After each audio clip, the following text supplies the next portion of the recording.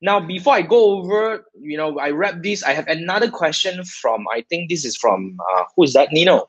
Nino, you actually posted this question in one of my video earlier. You're asking how to share custom audiences or lookalike audiences to other Facebook ads account. Okay, so let me quickly show you.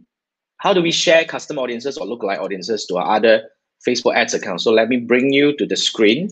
So um, I want you to look at this. So this is all my custom audiences and my lookalike audiences. All right. So um, you know, I could have my custom audiences and lookalike audiences. So let's say if you're looking at lookalike audiences, where's my lookalike? Um, where is that? Look like okay, let's say this is the lookalike audiences. You have to go in here through, you know, click on the nine dots, scroll all the way down, look for audiences. Okay, and then inside here, you look for the lookalike audiences that you're looking at, check on it, and you can share. Just need to type in the ad account ID or name, then you'll be able to share the, you know, the audience. So you're able to share lookalike audiences and custom audiences. Both you can share. So let me show you. So this is a, a custom audiences. Same thing, you can share.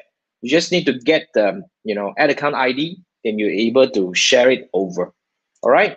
So that's you know, for Nino's question, thank you so much for the question. So that's how you share uh, that in between